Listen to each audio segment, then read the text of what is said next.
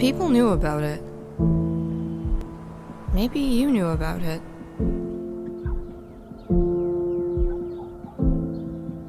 Nobody said anything, so it didn't stop. No,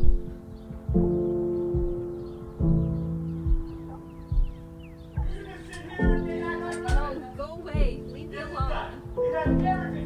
Just stop it. It went on for years.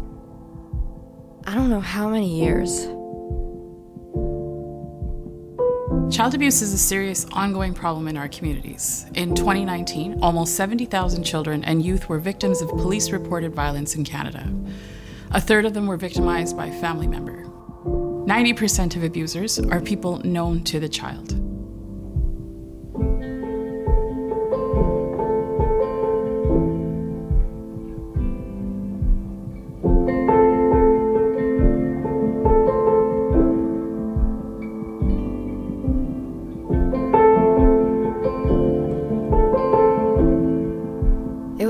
Was. It was my coach. It was my pastor. It was my dad and my mom. 67% of children will never tell anyone they're being abused. Child abuse has devastating effects on a child's psychological, emotional, physical, and social well being. I never said anything. I didn't think it was my place. I didn't want to get involved. It's not like I had any evidence. Maybe I would have made things worse.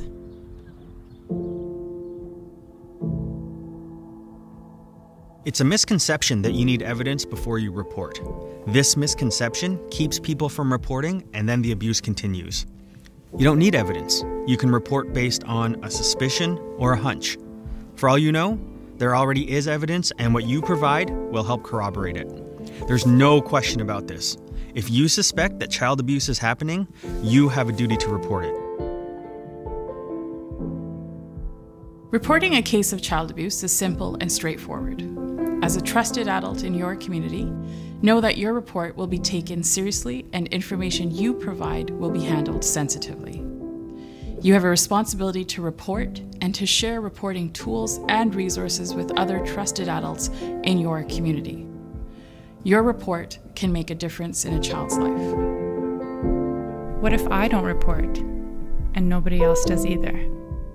What if I delayed reporting and the abuse continued for their entire childhood? What if I didn't report and something catastrophic happened?